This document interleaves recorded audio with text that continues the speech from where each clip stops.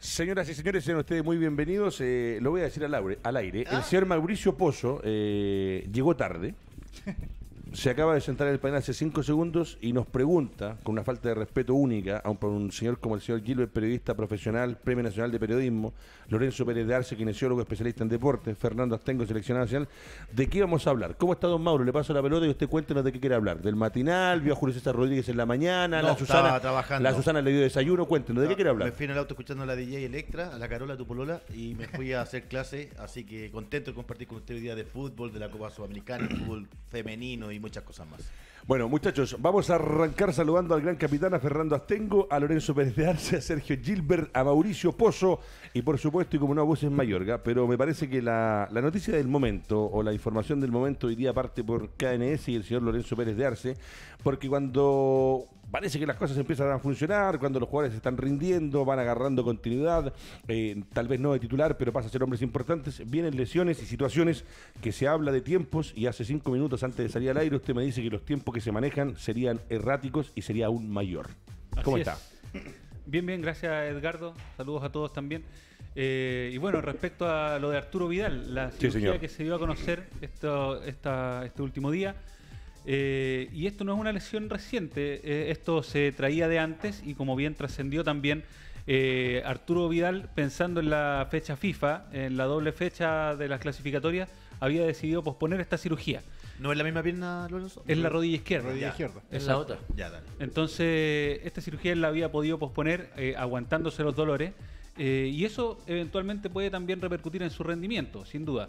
Pero ahora decidió, eh, ya que no se va a jugar la fecha clasificatoria, poder someterse a la cirugía, que en realidad es una cirugía artroscópica, eso significa que no es una cirugía abierta, es una cirugía con, con dos orificios, digamos, por los costados, y donde se puede ¿Se- sacar se una ya? parte del ¿Se menisco. operó ya? Se operó, la cirugía ya salió bien, Sí. eh, y según ha publicado el portal oficial de Inter de Milán, eh, se espera la recuperación en un mes, perdiéndose cuatro fechas. Pero eh, eso es lo que reporta, como bien digo, la página oficial del Inter. Pero si uno, si nosotros nos referimos a los estudios científicos que reportan los tiempos de recuperación eh, de esta cirugía artroscópica, con una, se llama menisectomía parcial, dice que en jugadores de elite podemos esperar en un promedio eh, un mes y medio de recuperación, lo que puede ser incluso más de dos meses. Pero Lorenzo, eso entendiendo además por cómo es Arturo, ¿no? Por la operación que hubo en su momento cuando fue al Mundial, se recuperó, jugó por su cabeza, por decirlo de alguna forma, por su querer recu- recuperarse rápido. Eso también, el estado anímico del paciente te permite a lo mejor pensar de que puede ser ese plazo, o Sí. tú lo ves por un tema, eh, dice un mes, pero en ese mes ya debe estar apto para jugar, o va a llegar. eh, deportivamente hablando para, Eso. para ingresar a, a entrenar Lo que pasa es que estas cirugías no son complejas. Eh, se saca una parte del menisco, solamente es una parte del menisco, eh, y la verdad es que la estructura misma puede quedar apta al tiro para la carga. Pero la rodilla va a quedar restringida en rango, se va a perder fuerza eh, necesariamente, por lo tanto hay que hacer un tratamiento integral. Él, por carga del menisco, probablemente podría volver al deporte antes incluso del mes, pero con una probabilidad de lesión muy alta. Y es eso lo que hay que prevenir. Y es eso lo que está en los estudios científicos. Esa es la, perdón, lesión- perdón, Feñita, la última. Esa es la descompensación del músculo de la misma pierna, ya sea menisco, perdón, en cuádriceps, eh, gemelo. A eso Exacto. también es la preocupación que tú hablas, Sí, ¿cierto? Ahí tiene que trabajarse mucho el fortalecimiento Dale. de esos dos grupos musculares, extensores y flexores de rodilla, cuádriceps y- e isquiotibiales. Gracias, Fernando. Ahora sí. ¿Me sale la pregunta? Ah, ¿en serio? Sí, porque normalmente cuando Pensamos uno lo operan de rodilla, obviamente la tonicidad muscular del cuádriceps, del femoral, generalmente pierde tonicidad, ¿cierto? Y Sí, se, pierde puede- se pueden provocar eh, lesiones musculares.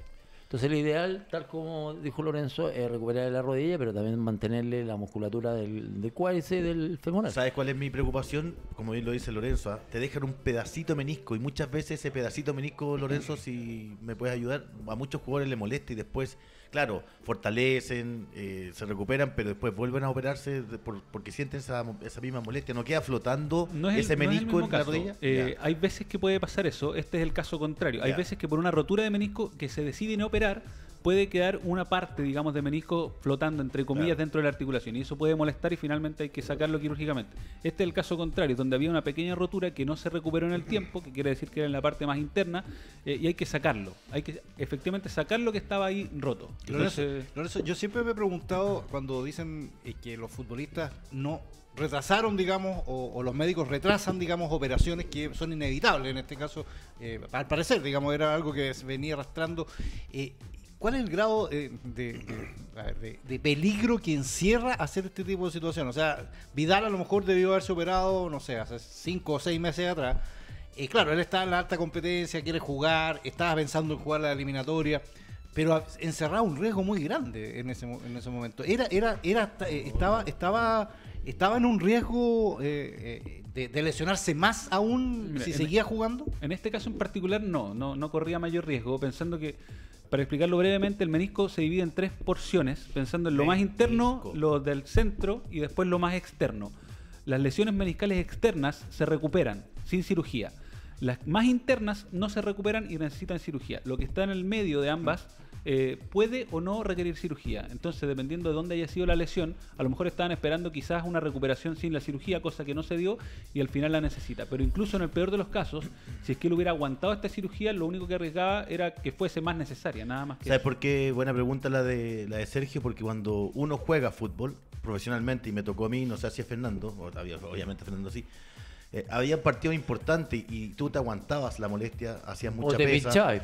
Es, antiguamente te, pinchabas, te infiltrabas claro. y como dice Sergio, o sea, uno va evaluando hasta dónde puede. O sea, yo hubo un momento que me operé No, de la pero no, rodilla. a veces arriesga demasiado. Es que ahí está el tema, Feña. sí, es que sí. antiguamente eso, y O después, sea, los, me- me y después los dirigentes, no, eso, eso cuando tú vas a arreglar el contrato ni se acuerdan. A mí es el tema. me pincharon el tendón por lo menos seis veces con corticoide, el tendón, que no es una zona donde riega mucha sangre. Y al final me tuve que operar ya fuera de la selección, Sí. me tuve que operar por mi cuenta, me tuvieron que hacer una limpieza quirúrgica porque ya prácticamente no podía caminar. Es que ahí está el tema, Caminar. Feña. O Esa, sea, esa es la respuesta. al nivel. Sobre todo en los 80, que eh, el pinchazo era famoso. O sea, te, te lesionabas. Era la única, era la única opción. Rodilla, pum, pinchazo, rodilla, Todo, era pinchazo. todo, todo. Claro, y los doctores en ese aspecto, la verdad, las cosas como que ni pensaban un poco, o a lo mejor no había el conocimiento en los años 80 de lo que efectivamente te podía causar un corticoide en una zona que a lo mejor efectivamente después No. te iba a traer problemas. Imagínate, yo terminé con. Tengo, oye, en realidad tengo problemas. Me- lo único que no me ha dado el COVID, weón. Bueno, Lo supa- demás lo tengo todo. Todavía. no, Bella, pero lo sí- tengo todo. Tengo una prótesis de cadera, tengo tornillo en la rodilla, tengo el tendón aquí y allá. Y Tengo un préstamo de. Bella, era cosa tengo de. tarjeta Mastercard. weón. Masterplop. La. Masterplop. Oye, acuérdate que antiguamente las cicatrices eran grandotas, hoy día la artroscopía, Sí. ¿cuánto debe ser? Nada, nada, son dos orificios a los costados de la O rodilla. antiguamente, ¿te acuerdas que el cirujano Ah, te terrible. esperaba con un cincel y, y la sierra eléctrica para, para operarte? Bueno, ustedes saben que eh, uno de los mejores delanteros del mundo se orinaba en la cama del dolor que le provocaba el no poder pararse para ir al baño en Bati. las noches. Sí. ¿Sabe quién es o no? Batistuta. Batistuta. Gabriel Omar Batistuta. A ese nivel, cuando Fernando habla de la década de los 80, y ahí sería bueno que Lorenzo nos cuente un poquito más, eh, ¿será que- porque en es ese que- tiempo no había conocimiento Es que a ti te gusta hablar solamente de los argentinos, acuérdate No, de, Clavito no. Godoy. Está Clavi- dando un muy buen y Clavito ejemplo, Godoy, Clavito Godoy, tuvo- Eh, Clavito eh, Godoy un momento en un carre- andaba en un, en un, un- exacto, ¿te acuerdas? Porque quedó prácticamente sin caminar, ¿te acuerdas? Sergio? Bueno, eh, muy buen ejemplo el del Mauro. Debe haber estado bravo el desayuno en la mañana con Susana, por eso está en esa Sí. actitud Todo hoy día en el argentino, todo programa. Está argentino, todo lo tuyo, todo argentino, está todo todo preocupado. No, no, no lo El sé. estudio Diego Maradona. El estudio Diego Maradona. Todo- todo argentino. Lorenzo, ¿será cosas como la que le pasaron al propio Batistuta, como muy bien lo decía Fernando, que entiende la situación y seguramente Gilbert también, eh, que en esa época los doctores pinchaban y pinchaban porque eh, no había un conocimiento de lo que causaba y hoy día la tecnología, la ciencia, la medicina nos dice que realmente eh, no es el camino y que muchos jugadores como Fernando eh, casi sin caminar. O sea, cuando uno escucha a un jugador como Fernando Astengo que dice me tuve que operar porque no podía caminar, ojo, la carrera del futbolista se acaba a los 35 años viejo, queda casi la mitad de la vida por delante. Así es. Bueno, en realidad la salud en general evoluciona y va aprendiendo en lo que se llama medicina basada en la evidencia y eso se va generando a medida que se va ganando experiencia. Y lamentablemente muchas veces se aprende, eh, entre comillas, rompiendo, para no usar otra palabra. Eh, por lo Echando a perder se aprende. Echando a perder se aprende, exacto. Entonces es ahí cuando se empezó a dar cuenta que efectivamente tantas infiltraciones y tan seguidas y, con cada dolor generaban consecuencias a largo plazo y cosas que no se podían ver echando a momento. se aprende con el caso de, de Poli y de Rosenthal. Sí, sí, sí. Así fue. Upa, qué, tema, qué Sí. temazo. Partamos con el de. sí, hacer- Sí. haciendo una reseña. Lo de Rosenthal. Yo recuerdo que Sí. Rosenthal, eh, Glasgow. que en el Glasgow, cuando se lesiona, Eh, la realidad y la historia que él mismo en algún momento ha contado es que él dice, yo me apuro en la operación, no me acuerdo que lo opera, eh, Radich, ¿no? No, no, no, ¿Quién fue en, opera? en- en Estados ¿Saben cuál Unidos. fue el otro? o sea, ahí el, Poli. el injerto. No, no, lo- lo, de, pero- lo de- los dos, Fue el de- injerto, si no me equivoco, Lo de Rosenthal, Rosenthal. se apura y a Rosenthal Sí. se le acabó la carrera. Rosenthal nunca más volvió a ser el jugador que fue. Nunca más. Sí, efectivamente. Eh, bueno, ya era una lesión compleja, no existían los medios que existen eh, a día de hoy. Eh, antes, por ejemplo, en un corte de ligamento eh, se podían poner injertos de distintas partes del cuerpo y ahora se ha ido cada vez estudiando más y se ha visto que hay tendones del cuerpo que pueden eh, asemejarse más a un ligamento, tienen mejores resultados. Hay algunos que son más rápidos, pero que resultan menos en deportistas y otros que son un poco más lentos que pueden resultar mejor en deportistas. Entonces, toda esa información no existía en los 90 cuando eh, Rosenthal sufrió esta lesión, cosas que hoy día habría sido la verdad es que muy distinto. Ahora, Sí. yo, yo, yo, yo he hecho de acuerdo, eh, he hecho de menos más bien, en esto, cuando yo escucho todas este- estas historias de ustedes y de las situaciones y de los ejemplos que están dando, el, el tema ético, digamos, del, Mm. eh, eh, que es una cuestión que, eh, que va más allá de lo que vamos a hablar acá en cinco minutos, obviamente. Pero eh, eh, cuando, porque uno tiende a, a, a aplaudir, digamos, incluso situaciones como la, la ocurrida con el propio Vidal en su momento, que, que llegó a pesar de que, de que, de que Medel también. lo de Medel. eh, y claro, ellos, eh, claro, en- ese momento se aplaudió y seguramente va a quedar en la historia y todo eso, pero yo quiero ver a, a, no sé, a, a ver a esos jugadores en 20 años más, si es que tienen algún algún problema, nadie se va a acordar de, de- de- No. de ellos y va a ir a ayudarlos. Lo digo por, por, por jugadores que yo vi después de mucho tiempo eh, cojear. eh, a mí el que más me impresionaba siempre era el Tito Fuyú, por ejemplo. No sé si ustedes conocen Sí. a Tito. Ya, Tenía eh, problemas ah, en las caderas, Y tenía problemas de, y, y era problemas de que efectivamente, claro, él, él te, te decía, claro, es que en mi tiempo... Don uno- Alberto, Claro. yo, lo, yo trabajé con el SDF y lo pasaba a buscar yo personalmente a su casa para llevarlo a Quilín a hacer el fútbol joven. Sí, claro. y era tremendo Mira. verlo cómo caminaba. Claro, entonces... Qué eh, privilegio. Sí, claro. Privilegio, No, y, cardinal. y- y Tito era, o sea, uno lo veía y, y recordaba, o sea, yo no lo vi jugar en, en- en- ni mucho menos, pero ve, ve Yo la creo, imagen. que, yo creo que sí lo vio jugar, No, incluso no. en el debut de Tito Pero si tú eres allí el- Benjamin Button, a lo mejor te pilló en la etapa de la vejez. No, no, no, yo lo vi jugar en, en- en- en- en estas cosas, en estos, en estos archivos de cine que, que se dan, pero nada, nada más. Archivos de cine. Pero, ¿Quién que eh, tiene 15 años este muchacho? pero, Inocentes tengo. pero, era inocente. Inocente, pero, pero después, claro, eh, me, me pasó también un- conversando con, con Basay en algún momento que también dijo lo mismo, que él, incluso él se pinchaba. O sea, que decía, no, ¿sabes qué más? Yo me pincho. Y él, sí. él se pinchaba antes de los partidos y, de- y en el entretiempo. Bueno. Entonces, y eso, y ahora eh, estaban sintiendo ya lo- lo- los efectos de eso. Entonces, ahí es donde yo, eh, yo, yo sé que el tema ético es un tema muy profundo, tiene que ver con mucha instancia, tiene que ver con mucha... No, pero en esa época Orlando. Aravena les decía, muchachos, Pero hay que no, jugar. claro, pero es una es un Mira, tema, es ¿saben un tema que yo no escucho debatir entre lo- lo- Además los que han- especialistas, ni tampoco, eh, y que debería involucrar también a la gente que, eh, que está en el espectáculo del fútbol o del deporte, eh, porque nosotros sabemos siempre las consecuencias. El doping, Sí. por ejemplo, es una es una consecuencia bárbara eh, que nosotros vemos, pero El- ¿dónde está dónde está la Antiguamente la- eso no los se propios- veía, los propios médicos? Pero ¿sabes Ah, qué? Hay, hay situaciones que obviamente es el jugador el que decide eh, por encima a lo mejor de, de algún consejo del médico. Eh, Porque ustedes, pincharse. ustedes, ustedes querían jugar. Yo, mira, Querían jugar. yo, es verdad, lo, lo voy a hacer cortito. Yo tuve un problema cuando estaba en Auda. Auda estaba por subir a primera división. Y a mí me pasó un problema en, en- en el plantar. Entonces yo me tuve que pinchar con anestesia cinco veces antes de empezar el partido. Se me pasó la anestesia, en el segundo tiempo todos iban a la charla y yo me iba a la camilla y me ponían cinco más. O sea, me colocaba 10 pinchazos en un partido. Me vine desde Arica con un hematoma tremendo prácticamente de todo el tobillo, prácticamente me llegaba al gemelo. De hecho, venía con, un, con, con el pie al aire libre y las azafatas realmente impresionadas y me decían, ¿pero qué le pasó? ¿Lo atropellaron? No, le dije, sí, que hubo un partido tuve que colocarme una inyección. Pasó, te- tenía que jugar Lauda a mitad de, de semana con Colchagua. Entonces eh, Jorge Aravena me dice, pero ¿cómo no vaya a jugar? Le dije, pero ¿cómo voy a jugar? Mira cómo tengo el pie, no tengo todo morado. Ah, No juego contra Colchagua, pero sí juego contra Wander, que era el partido Sí, sí, sí, decisivo. el monumental. Vamos de nuevo. Cinco pinchazos antes del, del partido y cinco pinchazos en el entretiempo. Que terminé un mes prácticamente en cama, acostado. Y nadie te fue a ver. No, no, y lo, y lo- y lo No, sí, pues, eso es lo que y- dijo no, no, Sergio. y lo- exactamente. Y lo genial de esto es que como no salió campeón ni Wander, ni ¿cómo se llama? ni Auda, solamente que subieron, había que definir un partido en Valparaíso. Y pueden creer que Jorge me dijo, ¿y cómo no voy a ir a jugar la final? Y yo, y yo caminando con un pie y con el otro con una muleta. Ya, el objetivo está Estamos visto, todos se acabó. locos. Es lo que- bueno, pero- pero, para que te des cuenta al nivel que de repente Por eso uno digo- llega. Claro, y eso después. es un tema, es un de- tema. los- mis compañeros me lo reconocieron, todos, todos, que el esfuerzo que hice fue increíble. Pero, ¿tú crees que. eh, No tiene ni un galvano, ni un Jorge.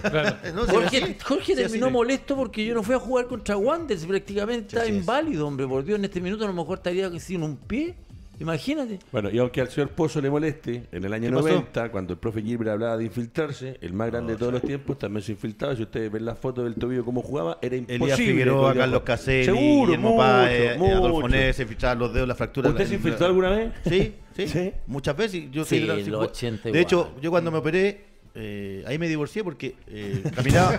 No, sí, es verdad, porque. ¿Qué tiene que ver la- perdón, que por favor, a la gente que está, viendo de esto, hecho, perdón.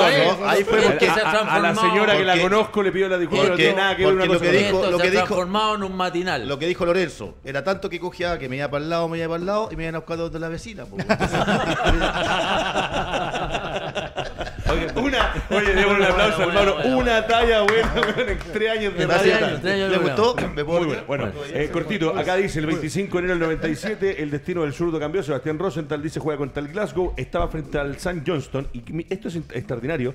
Él dice que siente un dolor extraño y siguió jugando con ese dolor que había sentido Rosenthal. Hace el gol y después del gol sale. Y ahí viene toda la historia que tiene razón el Mauro. Se opera en Estados Unidos y lo operan mal, según lo que dice acá el artículo, y nunca más se recupera. Bueno, esa- esas cosas siguen pasando eh, a día de hoy. Yo, bueno, también me dedico obviamente a la atención en cancha. Eh, estuve por pensé que años. decía la atención de la vecina. No, pero Completo, sé que es bombero, fuera, carabinero. bueno, sé que fuera del, del programa, perdón, pero eh, te dediqué varios años a trabajar en, a la atención en cancha en rugby y ahí se ve mucho peor que en el fútbol, mucho peor. Eh, me tocó ver eh, jugadores en semifinales o en finales fracturados, Ah, eh, fracturados y que llegaban pidiendo y les daba lo mismo y llegaban pidiéndole al, al médico que le inyectaran lidocaína, que es un anestésico para poder seguir jugando. En los dedos, fracturados los dedos, rugby Lorenzo- y jugaban igual. Bueno, eh, yo, te- yo igual que Fernando no tiene hartas operaciones. eh, yo recuerdo que a mí me operaron del tendón rotuliano, ¿cierto? Que esa era la, esa, esa era la cicatri- cicatrización que tenía el jugador de fútbol. Le pasó a- al gordo Ronaldo, que Sí. eran seis meses y jugó a los cuatro, hizo la bicicleta y se rompió otra vez.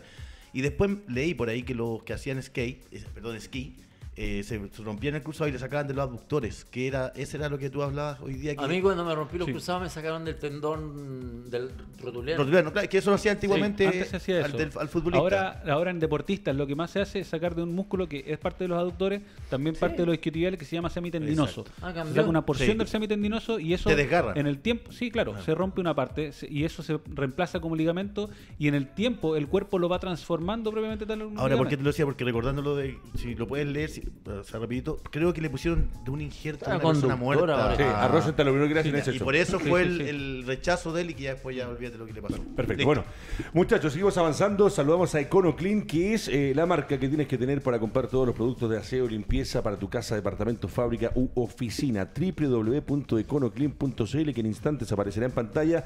Y vamos a hablar, a pesar de que el partido ya pasó, de lo que fue la presentación del equipo de la Universidad de Chile, profesor Gilbert, en Copa Libertadores de América, donde, eh, vuelvo a repetir, eh, yo no veo, no siento, no logro describir o entender una idea clara del fútbol del señor Dudamel en la Universidad de ¿No? Chile.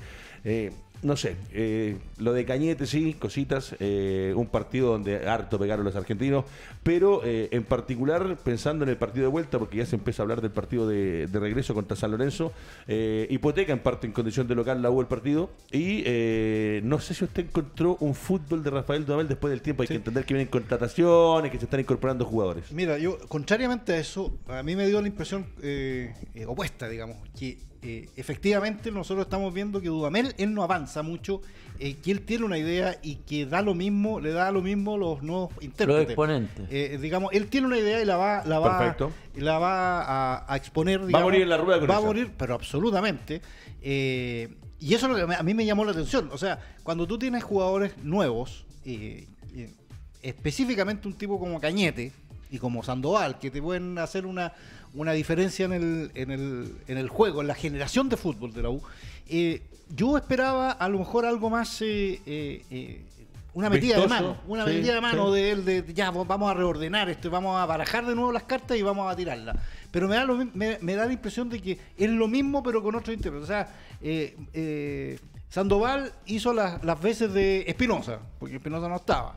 Eh, eh, después eh, Moya. Cañete, Cañete. Ca- claro, Moya estuvo. Eh, Cañete, claro, era eh, hizo eh, trató de juntarse con la Ribey, que era lo que hacía Montillo con, con la Ribey de, peor manera, porque todavía no se conocen. Entonces, Yo creo que no, no, no. Entonces, ahí tú vas viendo que eh, él va a querer hacer lo mismo con, con otros exponentes. Yo me imaginaba, ¿qué va a pasar el día que esté Pa- eh, Pablo Arangui, por ejemplo?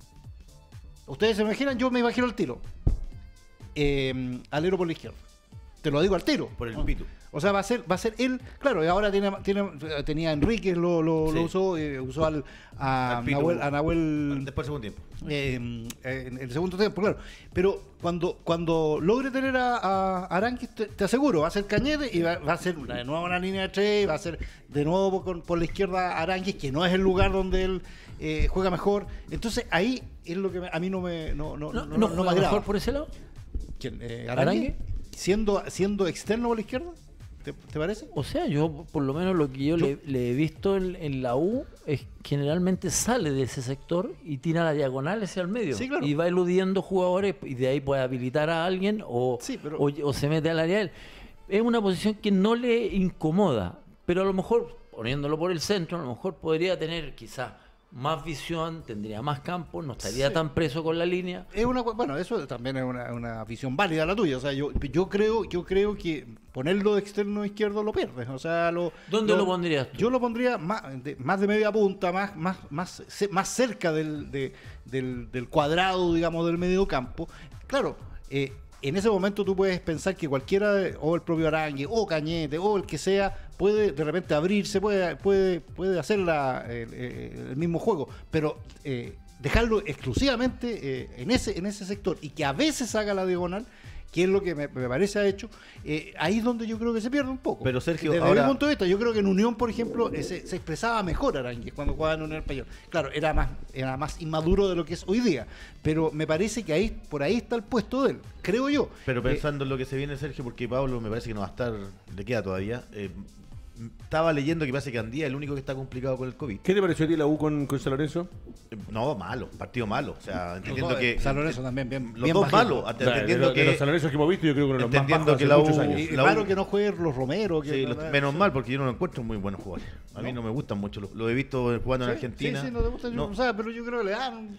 Porque hay que recordar que también la U solamente jugó con Magallanes un partido amistoso y tenía en su mente, y esto no es excusa, Caputo de colocar a Espinosa. Dudamel, y- Caputo se fue hace un rato. Ah, perdón, Dudamel y tener a, a Espinosa con por fuera Andía y González. Mm. Y lamentablemente les pasó el COVID. Si hoy día uno puede preparar el partido y no te preocupabas antiguamente de las lesiones. Caputo en pantalla. Y, y definitivamente fue el tema del COVID el que, lo, Sí. el que le cambia el ¿tú panorama. cómo- ¿Tú cómo ves eh, que es lo, lo que conversaba con Fernando fuera? O sea, eh, claro, no estuvo Espinosa. Espinosa es, es titular, tanto así que lo hicieron capitán del equipo. No, no, eso no. Por el momento. Por el momento. Pones a Espinosa, ¿a quién saca? ¿A Moya o a, Yo hoy día, a Sandoval? lo que pasa es que con este empate la U necesita ir a buscar un No, gol. no, pero- pero yo no, lo- yo dejo a Sandoval con Sí, Espinosa. Sa- Sandoval con Ya, Espinosa. ya, porque por le da eso- más fútbol. ya, y eh, después hay a presionar más arriba, Pero- pero jugar con, con más ofensivamente. Debe cambiar el, el- el- la nomenclatura. Debe cambiar ¿Sabes el qué pasa? Que, a ver, el partido, tal como hablábamos con Sergio, el partido fue un partido contaminado completamente con malas acciones, con malos movimientos y con mala entrega del balón. De hecho, el comentarista, eh, parece que era el Bambino Moon, Sí. eh, El relator, sí, para mí no puede. dijo que partido más malo. Dijo, nos entregan tres veces la pelota, tres veces la pelota. Tremendo. Estamos hablando de equipos que están jugando eh, Copa. co- Copa. Sí. Entonces, obviamente... Y el de claro, la Unión con Independiente no fue igual. también, también. Pero eh, fue- tal como le digo, fue un partido contaminado, fue de mucho roce, fue un partido brusco, un partido muy físico, eh, hubo poca limpieza al momento de jugar. Eh, Cañete por momentos tenía algunas pinceladas, también por ahí también al- algún jugador argentino que trataban de que a lo mejor ir ganar el juego o ir, generando de repente con la posesión algo que, que le generara a lo mejor alternativas de gol. pero fue, fue muy discreto el partido.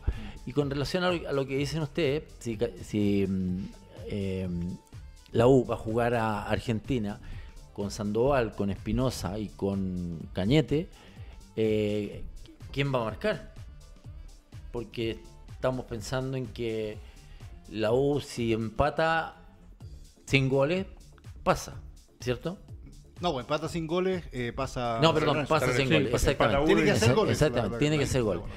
Pero por lo tanto no puede quedar sin un volante de contención. Eso es lo que decía yo, tiene, tiene que ir con un mixto y otro obviamente que sea, va a ser Cañete, el que genere fútbol. Claro, en algunos y el mixto puede ser Espinosa. Claro. Pero yo lo que le explicaba un poco a Sergio es que Espinosa es un jugador que no es un jugador rápido. Espinosa es un jugador que deambula por el sector de volante, eh, tiene un full cansino, mete buenas pelotas, remata a media distancia. Pero no es un volante, no es un volante que tenga la velocidad para ir a presionar acá, para ir a presionar Peña, acá. yo comparto plenamente todo lo que dice, todo lo que dice Sergio también. Pero mientras no tenga laterales que antiguamente, y esto me remoro, me, me, me, me recuerdo, Remonto. me remonto y estoy vacunado, de Reinero, eh, ¿te acuerdas de Reinero, la Sí. de la U? Por, de- por historia la U siempre El tuvo buenos laterales. el El príncipe. príncipe. Eh, eh, después tuvo- bueno, bueno, ahora estuvo Bose. ¿a A, lo que voy yo, que ni va- Del Pino, ni? Del Pino, ni Barrios son jugadores que, que- que te marcan diferencia, que te marcan presencia en la otra área, que es la, Bueno. es la función que hoy día tiene un equipo, Sí. sobre todo en, en- en este tipo de instancias, donde Se supone que Andía, Andía podría es ser. que no sabemos si va a estar, por eso te decía, porque No, no, que es más complicado por el tema COVID, me parece que no llega ya, Bueno. porque juega la otra semana, entonces me parece que ya no llega. Sí, debería llegar eh, Espinosa con, con Osvaldo, pero lo que son los laterales, o sea, del Pino el Mago, perdónenme, No, no, está él- ocupando, no, no, sí. está bien, o sea, eh, no, coloquen a otro jugador, a, otro- a un canterano por último, pero eh, del Pino Mago tiene Es un que- pánico escénico. Es que ahí es donde, es donde yo le discuto a los No es entrenadores. jugador para la U. le- le discuto Sí, puede ser, pero no en ese puesto, Si no, tienes, si no tienes, si no tienes eh, jugadores para ciertos puestos, ciertas funciones, tenés que, que revolver el naipe. O sea, es, es- es inevitable. O sea, eh, Del Pino Mago no va a ser lateral izquierdo nunca en su vida. No lo, no, lo es eh, por una circunstancia, lo es porque eh, se, lo Mira, pide, se lo pide. ya como central es discreto, imagínate a un central meterlo a la- al, al lado de la raya. Claro, exactamente. Anótala esa. Tiene Ya, un como puro central es perfil, discreto, sí, señor. Exactamente, sí, sí, entonces, sí. pero es que ahí es donde uno dice, bueno, pero varía, entonces juega con tres atrás, juega con, con dos volantes externos, que uno, no sé, los entrenadores tienen, tienen la capacidad de hacer eso, estudian para Pero- hacer eso, sí, Pero, pero que no podéis jugar con tres atrás de No, no, Sergio porque no tienes el lateral izquierdo que te va a pasar. primero. Tal Sí. vez Augusto Barrio, ¿te acuerdas que en San Sí. Marco lo hizo Ya bien lo en. Pero La la U le ha pesado bastante jugar en ese Por puesto. eso. Perfecto. Pero- pero- a lo que quiero escuchar a Lorenzo Bereterase que algo nos iba a decir con respecto a la U, al funcionamiento, al andamiaje de este equipo de la Universidad de Chile. Yo vuelvo a insistir, eh, nada con Dudamel, pero a mí me parece que es un tipo que Pero estamos no- hablando de fútbol, sí, que no ha logrado plasmar algo, comparto con lo del Mauro, no hay laterales. Hace mucho tiempo que en el fútbol nacional en particular no hay laterales. Mauro Eh, Aro, el mismo Choco el Ponce en su mismo Mauro momento. Aro, el Miguel, Chueco. Ponce, Miguel Ponce. Estáis hablando hace 10, Pero que 20 es el- años pero atrás, que Peña, pero de lo que Peña, está es que, es pasando que ahí también hay una crítica, hay una crítica Mena, hacia, bueno. mira, si imagínate, No, José ¿qué Yul, crítica- Mena qué y- e Isla llevan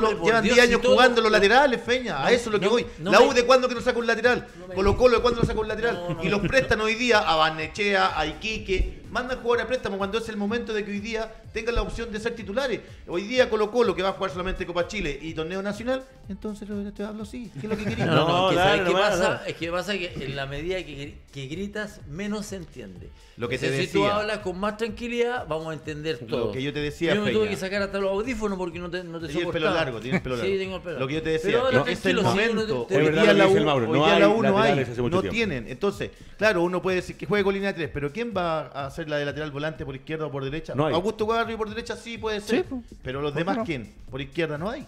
Pero Sí, si esa es la busca un lateral, si busca un lateral volante en lugar de un lateral eh, como, como Claro, buscando la mixtura, si no hay uno que sea de base tú- lateral. yo creo que no va- en la U. Yo creo que vas a conseguir más, o sea, puedes puedes puedes conseguir más, pero un lateral que es, es una función súper específica y estoy de acuerdo contigo, no, no es un problema de la U, es un problema del fútbol chileno, o sea, Están peleándose de- por Wimbledon, como, Wimbledon. como, como dice el Feña, estamos, estamos- estamos hablando de hace 15 años atrás. Ah, y Sí. cada- entonces eh, Hablemos de por- ahora. Por eso, y no hay, y como no hay, entonces tú tienes que variar. Tú tienes que ir viendo las, las opciones que tienes, de acuerdo a los jugadores que tienes. Pero cuando empiezas a inventar, cuando empiezas a, a tratar de que jugadores como Luis del Pino Mago juegue de lateral, cuando tú sabes que no va a ser, no es lateral y que tú sabes que va a tener problemas y que seguramente va a ser superado, entonces tienes que inventar otra cosa. Ahí donde. o no, Es no, que, a lo es mejor que no en es una posición tan específica como esa, tú no puedes inventar Por eso, inventa a alguien que no tenga el conocimiento mínimo de Pero saber qué momento tú tienes que defender y qué momento tú tienes que atacar. Pero tácticamente tú tienes que, eh, a eso me refiero. O sea, yo decía, a jugar con línea de tres, que puede ser una opción, puede ser, pueden venir muchas más. Si tú no tienes un later- laterales que tú quieres que se desplieguen y que se tengan en ida y vuelta y todo lo que, lo que estamos hablando, que entendemos que es un, un buen lateral, entonces no juegas con laterales. Tienes que jugar con volantes externos y que hagan funciones muy específicas y no dejes solamente, no los dejes solamente a ellos con la responsabilidad de o defender, sea, por va a ejemplo. ser una línea de tres con Arias. No, con, si tiene, la U tiene con del, no, con, Casanova Osvaldo, y, con, y González. Eso- Esa- eso eso, podría ser. eso, podría ser un buen dibujo.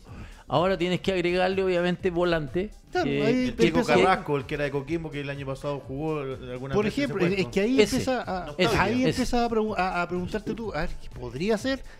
Ah, pues ¿hay, hay, hay alguna alguna posibilidad de que sean ellos los que entonces, ay, pero pero Pero está él- lleno él- de dudas, hombre, por Dios. No, yo no, yo no, yo estoy diciendo, esa, esa pega la tiene que hacer el entrenador de la U, No, no, yo. pero nosotros también tenemos que comentar. ¿quién, no, no, no, Darle a la gente alternativa ¿cuál? y variantes, eso, pues sí. es re fácil decir, Pero no, ¿cuál es qué es que variante? cómo van a jugar. Pero ¿qué Nosotros- tenemos tiene? que también de- tratar de hacer a, la- a ver a la gente cómo podemos describir cómo Pero podría jugar la U. al no, describiendo tenerlo, como- al no tener ese jugador específico, eh, hay que, por defecto, el técnico darse cuenta y modificar el sistema e Eso. intentar ir de otra forma. Eso, eso No es- tengo un lateral izquierdo que se vaya y se proyecte. No tengo un lateral derecho que se vaya y se proyecte. Tengo que tener la cabeza. Y ahora sí le vas a meter a Lorenzo Pérez de Arce. Eh, eh, de modificar, de buscar. A mí, ¿sabes lo que me pasa, Lorenzo, con muchos entrenadores del fútbol nacional? Del fútbol nacional que no veo variantes o alternativas y cuando hablamos de morir con las botas puestas mueren y prueban y lo que prueban e inventan muchas veces no funciona. Sí, bueno, bueno, partiendo porque yo no voy a hacer un análisis tan fino como lo hacen ustedes en relación a esto, pero es verdad. vale. sí. No, pero yo no me voy a meter ahí. Ya, por lo menos esto me protege, pero no tanto. Métete Eh, nomás, métete. sí.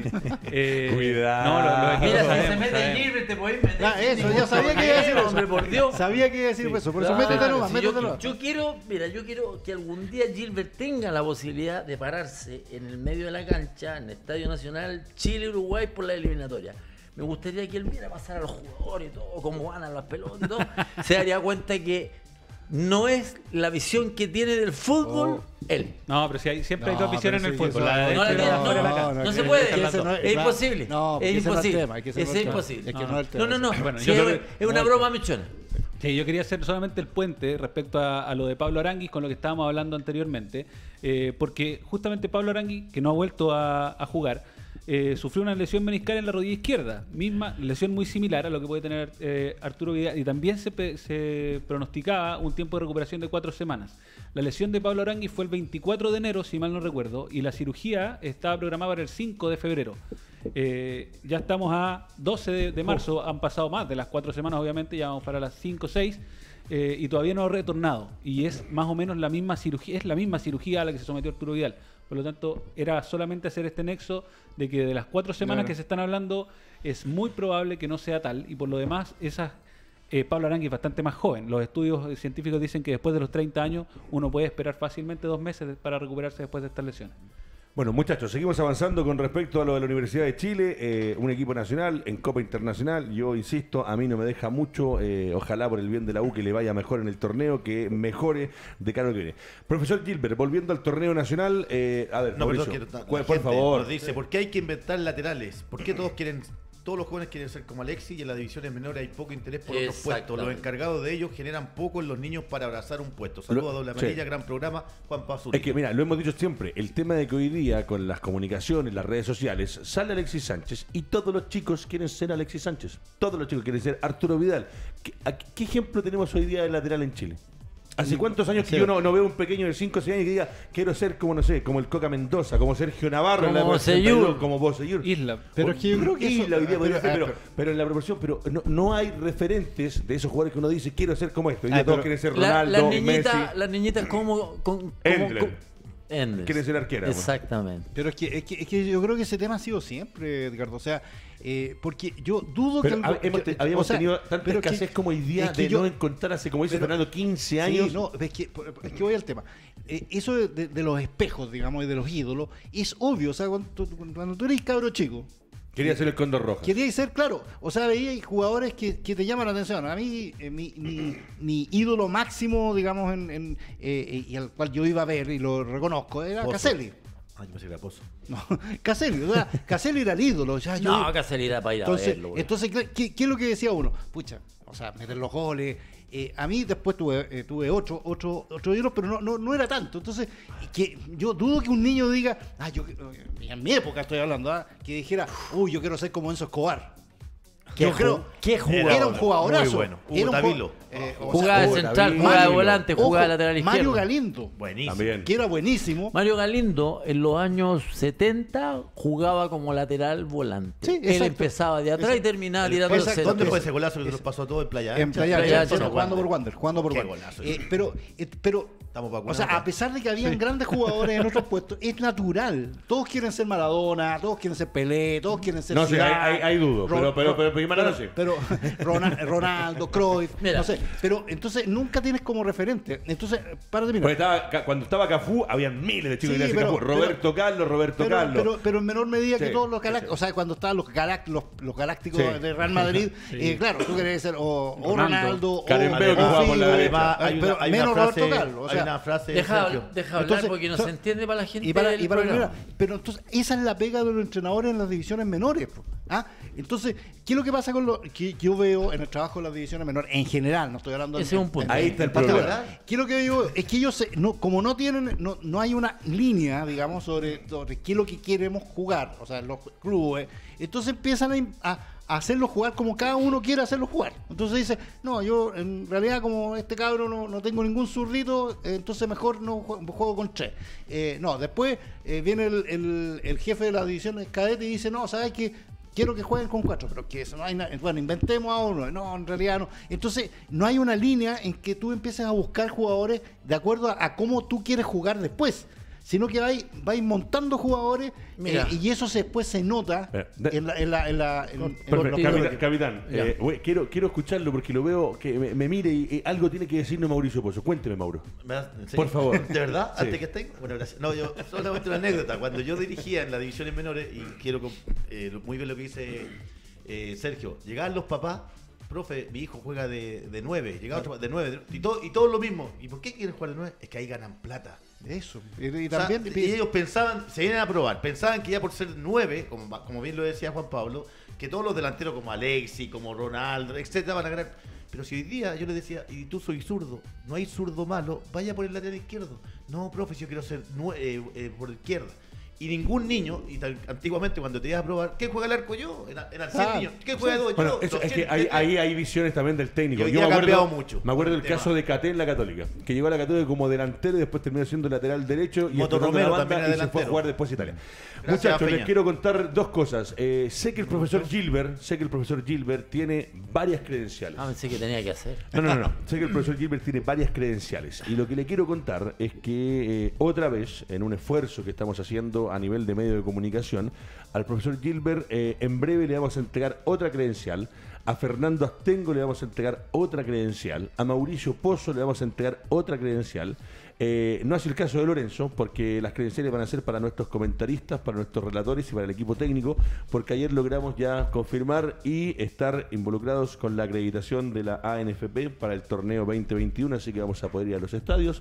Cuando No. la pandemia lo permita, Cuando vamos lo a poder bueno. relatar Qué desde los estadios bravo, y si no, relatar desde acá. Que un aplauso para la. No, un aplauso para mi, para mi compadre. Eso, eso- eso es lo primero, eh, que logramos acreditarnos como siempre con todos los protocolos que Ahí también es, exige es- la es- ANFP.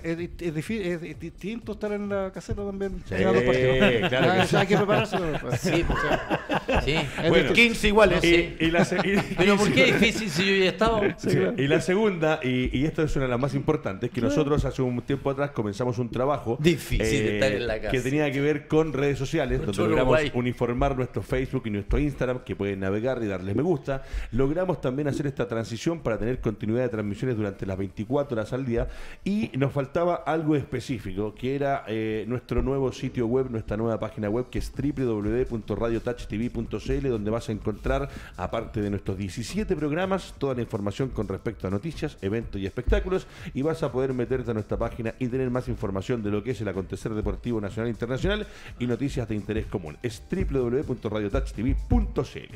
Muchachos, seguimos con Buses Mayorga, seguimos con lubricantes en línea, seguimos con EconoClean y también con Infomed, los cuatro que hoy día nos están colaborando, nos están ayudando. Eh, fue clarito Pellegrini, profesor Gilbert, a usted que le gusta Pellegrini, dice que absolutamente niega los rumores de que Claudio Bravo vaya a Colo Colo y descarta también eh, lo que se habló en algún momento a, a Vidal, que decían que podía sonar el Betis porque dice que por un tema de platas para el Betis hoy día es inalcanzable. Y lo de Bravo yo comparto con el León. Bravo va a pasar por Estados No, Unidos por la League sí, Soccer no. antes de pensar en volver a Chile. Claro, yo, es que yo no sé, eh, fíjate que este... este ¿De dónde sale? Fue un periodista. No, no, Ojo. no, no, no. No Sí, lo seguro. dejaron entrenar en Colo Colo cuando vino, nada. No, no, yo, yo creo que, es que estas situaciones salen porque, eh, bueno, por lo menos yo seguí un poco en los últimos meses que eh, los diarios españoles han hecho eco de algunas cosas que empiezan a sacar ellos eh, algunas conclusiones. Una, eh, yo me acuerdo que eh, lo primero que se dijo era que Morón en algún momento había mencionado, digamos, que eh, uno de los que Colo Colo debería siempre, eh, planificar el regreso de varios jugadores, eh, digamos, que, eh, emblemáticos, Vidal, y, y habló de Bravo, dijo que a él le encantaría que Bravo terminara su, su carrera en Colo es Colo. un sueño, Morón. Eso, eso lo dijo Morón hace un año, o sea, Pero un más, sueño. Claro, y, y, eh, claro, en, en- en- en España empezaron a ligar el hecho de que Morón había sido entrenador de, o sea, uno de los entrenadores de arquero, el entrenador de arquero de Bielsa en la época en que estaba Bravo, Mm. entonces que había buena relación entre ellos y que eran de Colo Colo. Esa fue la primera vez que yo vi este, este volador de luces, digamos, de... Y lo más extraño... ¿Y por qué claro, Morón no intervinió cuando nos dejaron entrenar a Bravo en Colo Colo? No, porque no estaba en Colo Colo esto. ¿Él? Morón, Morón no estaba... en- ¿No? no, no, no estaba Pero Morón conoce a todo el mundo Sí, sí, claro, el Monumental. Sí, claro, no, es que, eh, pero, pero no- él no estaba en, eh, digamos, ninguna faceta, digamos, en Colo Colo. Después, cuando, cuando asumió Morón ahora esta, esta gerencia técnica, en España mismo, en España mismo, yo por eso digo que en España empezaron a surgir estos rumores, se hizo el- el- el- inmediatamente el- el- la conexión. Ah, asumió Morón. ¿Estás de acuerdo con que Morón sea el gerente deportivo de Colo Colo, sabiendo que él estaba en otras cosas, que se integró al Club Deportivo Social eh, de Colo Sí, Colo, sí, sí. y de ahí lo colocan ahora como gerente deportivo? Yo estoy hablando por el tema de lo, lo que hemos hablado de lo que tiene que ser un gerente deportivo. ¿Estás de acuerdo? Y que lo dejen sea, trabajar o sea, tranquilo o sea, también, indicas. ¿ah? o sea, y por- tú también dices que lo dejen trabajar tranquilo. No, no, no. Estoy diciendo Sí, si sí, uno. sí. si La están, están hablando de que hay que ir a Europa a prepararse, a hacer cursos, no sé, de gerencia deportiva, de gestión, como hemos hablado. Entonces, de repente, también en Colo-Colo, de repente eh, se apasionan y, y- y se los deja llevar de repente la historia de un jugador. Sí, sí. La historia ya está. Pero cuando tú quieres tener un club ordenado, cuando tienes, quieres tener jugadores que vengan por gestión, que vengan buenos jugadores, que se arme un, un buen equipo, eh, yo creo que uno tiene que tener un, un grado de preparación importante, porque está, está a cargo del, del equipo más importante del país, junto con la U y con, con Católica. Ca- Católica tuvo que pasar por una transición hasta que el Kaki, o sea, el, el Tati, el Tati, no sé dónde Sí. saqué el Kaki, es que co- me comí un Kaki antes de- después de entrenamiento. El Tati tuvo un proceso de como de adaptación, de crecimiento, de efectivamente darse cuenta qué es lo que significaba un gerente deportivo. No, no se olviden de, un- de un, de un caso puntual. Espina estaba en las comunicaciones. Sí. Terminó de jugar al, al fútbol, dirigió Colo Colo, se fue allá a las comunicaciones, bien, me va a dar, gerencia deportiva. Tom, llegó acá, ¿qué pasó? Oh, Sí, sí. Espera, es que- es que- Pero es yo creo que, la es reseña es que- está bien. Es que no, es que porque no empecemos otra vez a poner como, como se puso el Colo Colo a Moza, que es un hincha, es un hincha de Colo Colo, por lo tanto, así terminó Colo Colo. Sí, la- la- para terminar lo de Morón, eh, entonces hicieron ese link, o sea, esa, esa conexión Morón-Bravo y por eso empezaron. Y el otro día Borgi dio a entender en el programa de, Sí. de, de TNT pero yo no le veo mayor sustento. Eso para terminar. A lo que, a lo que tú vas. Eh, yo creo que hoy, sinceramente, todas las decisiones que se están tomando en Colo Colo, en blanco y negro, ¿Son malas? Son, son eh, cargadas con el tinte político. Sí. Es decir, todos están jugando sus cartas. Eh, Morón es la carta del Club Social, entonces estáis presionando. Ojo, el otro día salió también la idea, yo no, yo jamás le vi ver de cabeza hasta que escuché al protagonista, cuando dijo, cuando dijo el presidente del Club Social, dijo, es que debería ser Bartichotto el presidente. Yo dije, Bartichotto va a decir que no al tiro, si Bartichotto no está de acuerdo con el blanco y negro, Claro. él, él quiere ser... pro- Y sale Bartichotto hablando, mira, sí, en realidad podría ser. Entonces, ahí es donde yo no entiendo, digamos, la, la postura. la- de- Claro. Entonces, todo hay que verlo desde el punto de vista político. Ahora, si tú me dices, claro, si, si Morón tiene la- las capacidades, claro, uno dice, o sea, que... Claro, yo hablé con él y claro, él tiene la, me dice, Tiene las "Ten- la, ganas". la experiencia. No, dice, yo tengo la experiencia, tú sabes que yo conozco. entonces- ya, perfecto. Pero tú decís, ¿cuál era la alternativa? Eh, Pablo Contreras, Pablo Contreras es un tipo que se eh, que- claro, pero tú, mira, tú haces así y si tú, claro, y yo también hago así, sinceramente. Eh, pero, pero claro, él puede decir que sí se ha preparado. Él, él, a lo mejor eh, está- tiene mucha más preparación, digamos, que la que puede tener Morono, la que puede tener la, la que puede haber tenido Espina. Pero también decís, mm, tú pones el caso del Tati. Ojo, que el Tati cuando llegó a la Católica, al hacerse cargo, él estaba vinculado a los representantes. Sí, por eso te digo A que pasó por a- un periodo de a ser transición. representante de jugadores pasa a hacer esto. Y hay un periodo en que, claro, o sea, y de hecho, de hecho yo me acuerdo cuando entra a, a la Católica, también había un cierto resquemor eh, de, de- de esta, de esta situación. Tanto así que me acuerdo haberle preguntado en la conferencia de prensa que se he presentado justamente si no había alguna algún eh, iba a haber un problema ético como ya que estamos hablando, en esta situación y él claro se molestó un poco pero pero hubo un tiempo en que eh, en Ojo, que- está en para que eso- pensarlo. O sea, es lo que usted acaba de decir, si viene de ser representante. claro, o sea, era representante, Sí, si lo- digamos las lo- cosas como lo- son. sí. Entonces, él viene del mundo, lo eh, Sí. venía un mundo que no era no era el mundo de académico de, de haber estudiado Mira, para ser director siendo malo, siendo malo, obviamente para ser un gerente deportivo, teniendo relaciones con representantes y al ser, por un lado le ha servido, porque conoce ese mundo, ¿ah? un submundo, Sí, claro. y sabe, se puede manejar con los representantes, puede negociar con los representantes, pero él obviamente, como dije, hizo como un periodo de limpieza, de transición y se empezó a dar tú cuenta qué es, lo que, sí, que- sí. qué es lo que se necesita para ser un gerente deportivo. No, y, y no exento de polémica, sí, él mismo reconoció hace, no si mucho que renunció, no, y él mismo dijo que él presentó su renuncia más de 10 veces. Sí, claro. Claro. Entonces, si no es un proceso que sea tan rápido, por lo tanto, tampoco en Chile se sabe bien cuál es la Por eso función Es del eso importante hoy día el, el estudio. Yo, bueno, yo estoy estudiando gestión deportiva en la Conmebol. Sí, lo Me encuentro queda- extraordinario, me queda- el queda- sombrero como me- compañero, me me queda, me queda un mes y de, de verdad que te, te- eh, el abanico, te, te- te- o sea, lo que hablaba recién usted. Seba González, yo comparto siempre, conversamos, él también sacó dos o tres Sí. eh, cursos de, de gestión No, y de saca hecho, diplomado cada rato. de hecho, sí, se sí, fue, sí, de sí. hecho se fue a... Y, y ahí me motivó también para este, este- esta situación, porque te- el abanico de que te abre acá en la mente, tú no sabes el tema táctico, futbolístico. Si no me, si no me equivoco, Mauro, un, un club. previo Pero a Espina, Colo Colo había tenido la posibilidad que Chamagol les presentara un proyecto Bueno, de hecho, fue una reunión, que fue a reunión, todos fue- locos con fue a que- de reunión. Sí, pero estaba cocinado. estaba, cocinado. el mismo Sebastián lo dijo. o sea, él sabía que estaba cocinado porque el, el, candidato Ruiz Tagle, que en ese momento Sí. era el presidente, era Espina. Tal y, cual. que Y él fue- importante. y dice que él fue porque obviamente él fue por Club Social. Claro. Por Club no, Social. no, ni siquiera por, por la otra parte de Blanco y Negro. Entonces dijo, yo fui en realidad porque aproveché la oportunidad de ver, si- de, de ver mis capacidades de, de, de, de, de- de- presentación de y todo el presentar todo el, pero sabía que no iba a ser. Y es importante lo que dice el Feño, o sea, ta- tal vez el ídolo, claro, a veces los ídolos no, no pueden administrar un club tan potente, No. lo que pasó a Espina, lo- ojalá que también lo dejen trabajar tranquilo a, a Morón, así que creo que Muchachos. es importante que la persona estudie y se capacite. Perfecto. Eh, Estoy buscando lo, trabajo lo veo con su tablet, lo veo con cosas y sé que KNS tenemos más cositas. ¿Qué pasa con la situación lindo. física, clínica, médica de todos los muchachos a- alrededor del planeta fútbol? ¿Qué tenemos con KNS que lo veo ahí Sí, anotando? eh, una noticia que trascendió, que pasó hace ya varios días, pero que trascendió el día de ayer a la, a la prensa y que algo que yo creo que nos preocupó a varios, eh, y fue el infarto agudo al miocardio que sufrió Oh, Mar. González. Mar González, Eh, y, y claro, todo, y, y yo me considero dentro de ese grupo, muchos nos preguntamos, ¿y, y qué queda para nosotros? Si Mar González siempre fue, obviamente, deportista de elite, eh, siempre se ha mantenido activo, eh, yo por lo menos Pero lo sigo eso a- significa que tú no puedas tener un problema. No, no, pero hay, es un hay jugadores que factor- se han muerto en la cancha. es un factor protector muy importante y él nunca, por lo menos eh, mientras jugó, nunca presentó problemas cardíacos tampoco, o por lo menos no trascendió. Eh, entonces muchos se preocuparon y nos preocupamos porque, claro, quizás llevamos un estilo de vida menos saludable que él y aún así pasó. Habla No, por no, ti. no. Eh, Mucho menos saludable.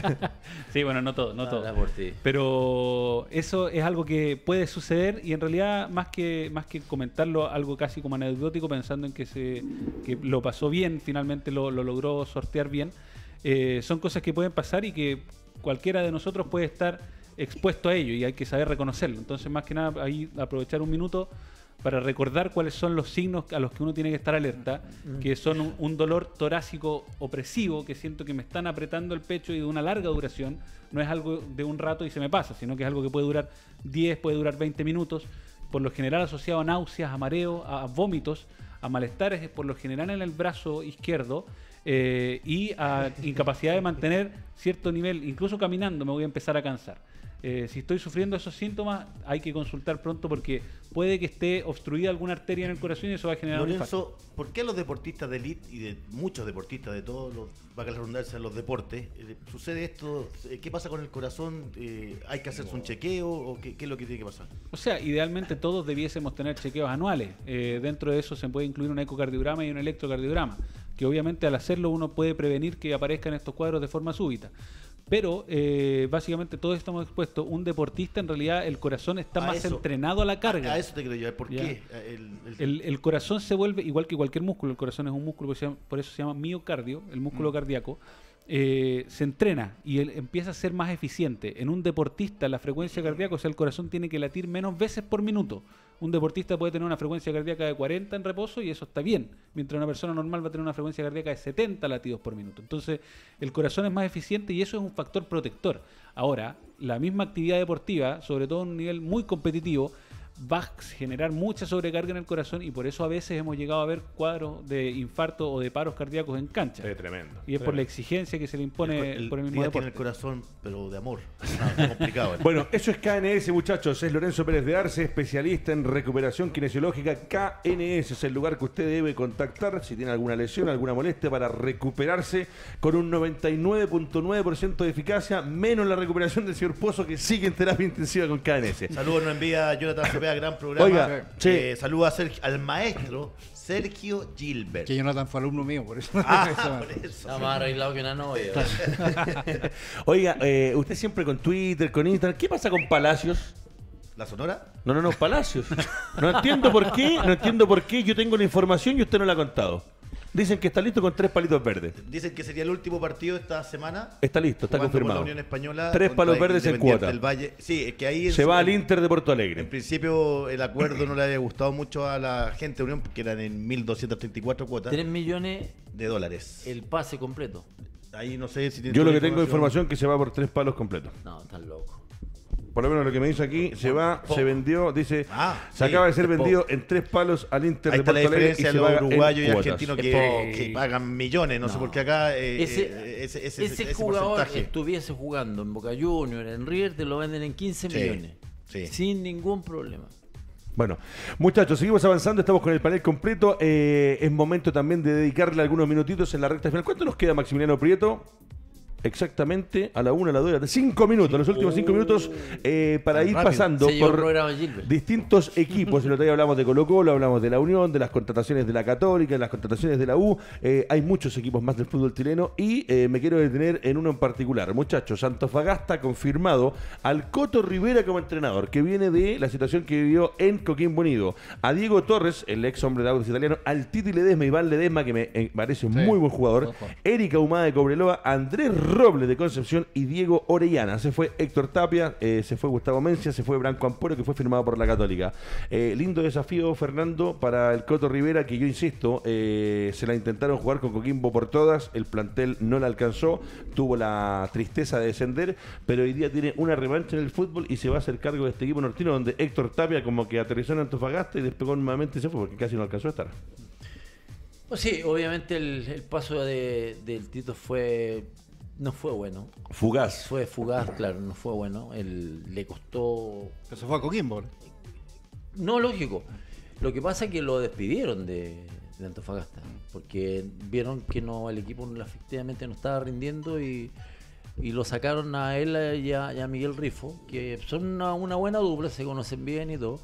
Y, y se fueron ahora a Coquimbo y tienen un, un grupo de jugadores interesantes como para armar un, un equipo que pueda postular a, a subir a, a primera rápidamente, porque el- la idea es esa, porque si te pegáis un año, te pegáis dos, después aguántate que puedes Qué buen cinco, tema seis. tocaste, Feña.